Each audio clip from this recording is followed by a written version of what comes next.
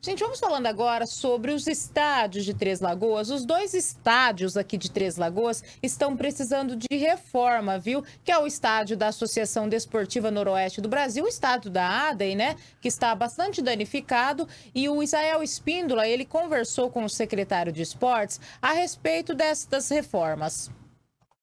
Este é o estádio da Associação Desportiva Noroeste, ADEM. Ele foi construído como local de recreação dos funcionários da antiga Noroeste do Brasil.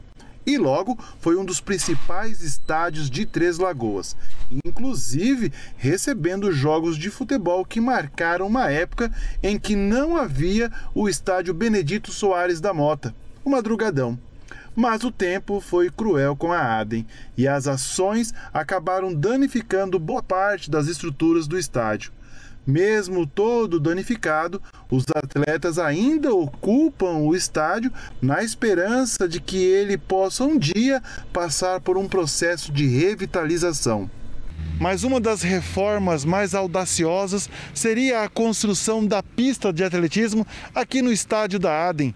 Esta pista profissional receberia o piso emborrachado. O valor, 6 milhões de reais. A Adem precisa de novos vestiários, de um novo alambrado, de uma boa reforma na arquibancada e, claro, uma iluminação para dar o conforto aos atletas que por ali treinam. E, de acordo com o secretário municipal Antônio Realino, as reformas do estádio já estão na bancada federal e aguardam liberação de verbas.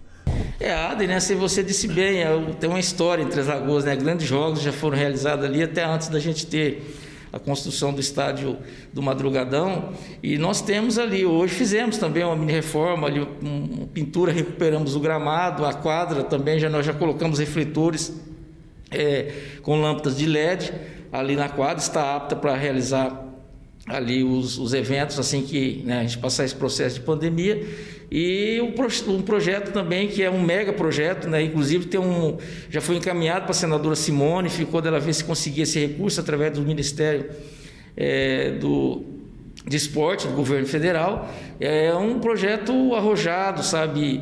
É, eu diria até ambicioso, porque vai ficar em torno de 6 milhões e meio de reais, que é fazer é uma reforma geral ali, uma pista de atletismo né, oficial, né, que é a chamada pista emborrachada. Aí nós poderíamos fazer, conseguir realizar é, é, grandes competições aqui a nível internacional, que requer que realmente seja essa pista emborrachada. É um sonho, né, a gente realizar esse projeto, mas temos que acreditar acima de tudo que é possível.